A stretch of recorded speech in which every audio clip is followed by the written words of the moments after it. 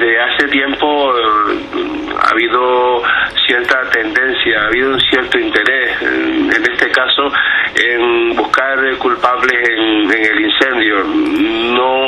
eh, con ninguna relación, ninguna vinculación a incendios anteriores. El celo que ha habido ahora en este incendio, en buscar las causas del incendio, no se ha producido en incendios anteriores en los últimos años. La verdad que para mí es muy extraño circunstancias eh, se han producido de esta manera, porque esta presión permanente desde ciertos sectores eh, de este tiempo para, para que se investigara en profundidad y sobre todo centrando siempre el foco del problema en, en las fiestas de este barrio es una realidad objetiva que se ha producido, eh, no sé por qué, pero se ha producido así y yo creo que como se con, con estas consecuencias en estos momentos, ahora, pues indudablemente, pues viene lo que decía antes, que se aporten las pruebas, que se pueda solventar la situación de unas personas humildes que han, eh, que su daño ha sido trabajar por su pueblo, por su barrio, eh, pues disponiendo de su tiempo, de su dinero, de su esfuerzo personal para organizar una fiesta para todos los, vecinos.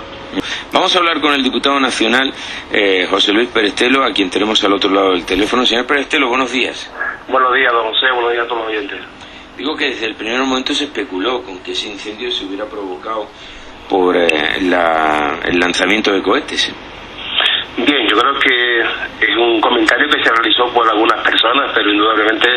nadie de manera oficial había dicho que se hayan producido por los voladores. Es más, eh, los, propios fabricantes de, voladores, los, la, pirotecnia de La Palma, eh, permanentemente que un volador es capaz, es incapaz de producir un incendio de estas características. En todo caso, hay una investigación, hay eh, un informe que acabas de leer que indudablemente recoge pues algunas cosas que parecen obviedades, pero parece que hay otras cosas que no son exactamente así como se pueden plantear una investigación, según mi criterio, pero en todo caso respetamos la investigación y respetamos el criterio que se está estableciendo. Luego, lo que no sé es si había prohibición, debido a cómo estaba el tiempo en aquellos días, para hacer ese tipo de actos. Bien, la verdad es que mm, me parece que había prohibición de tirar de eh, fuegos artificiales, no sé si así voladores, porque creo que la mm, reglamentación que establece la,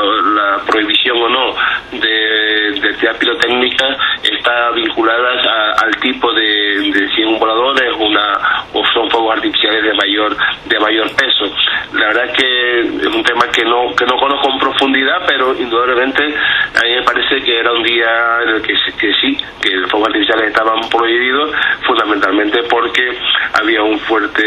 viento y mucho calor. Eh, otra cosa es eh, los voladores que siempre se tiran en la fiesta, que incluso ponen en el programa cuando, se, cuando las comisiones de fiesta preparan la fiesta, es tradicional en todos los pueblos y en todos los barrios de, de la isla de La Palma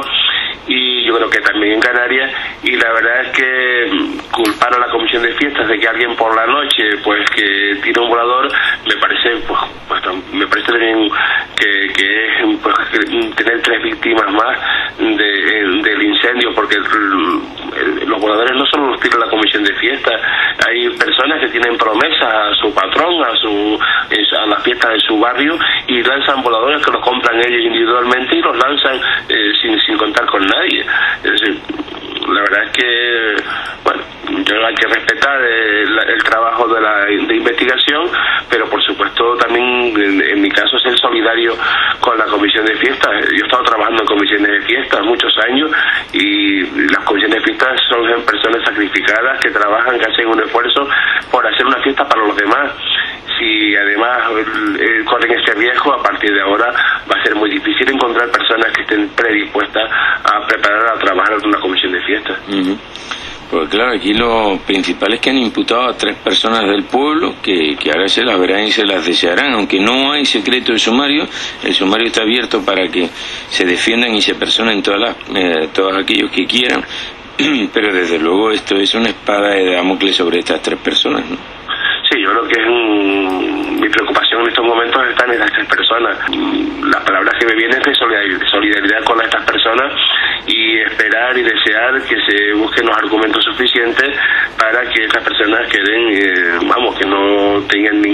ninguna ninguna acusación en firme y que por tanto no tengan ninguna no, no tengan que pagar por algo que seguramente estoy convencido, completamente convencido no hicieron ellos. Eh, los fuegos en los últimos años en verano, fiesta en La Palma, el Cabildo ha hecho un esfuerzo notable para colaborar con las fiestas, disponiendo incluso de retenes de medio ambiente especiales con motivo de celebraciones tradicionales, como por ejemplo los globos por el Día de En una época de menos calor como el mes de mayo,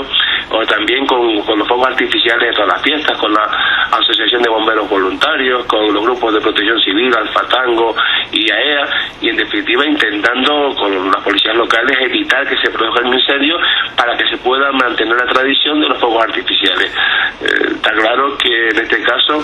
eh, no había fuegos artificiales previstos y por tanto no existía ese, ese, ese dispositivo de seguridad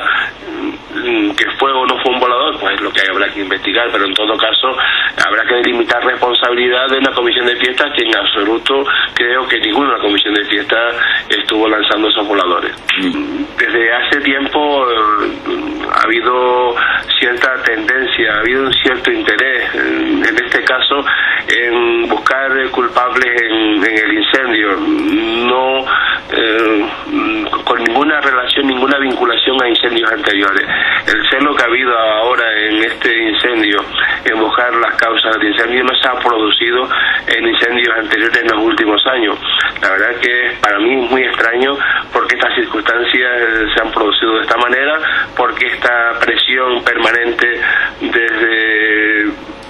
ciertos sectores eh, de este tiempo para, para que se investigara en profundidad y sobre todo centrando siempre el foco del problema en, en las fiestas de este barrio es una realidad objetiva que se ha producido, eh, no sé por qué, pero se ha producido así y yo creo que como se con, con estas consecuencias en estos momentos, a partir de ahora, pues indudablemente, pues viene lo que decía antes, que se aporten las pruebas, que se pueda solventar la situación de unas humildes que han, eh, que su daño ha sido trabajar por su pueblo, por su barrio, eh, pues disponiendo de su tiempo, de su dinero, de su esfuerzo personal para organizar una fiesta para todos los, los vecinos.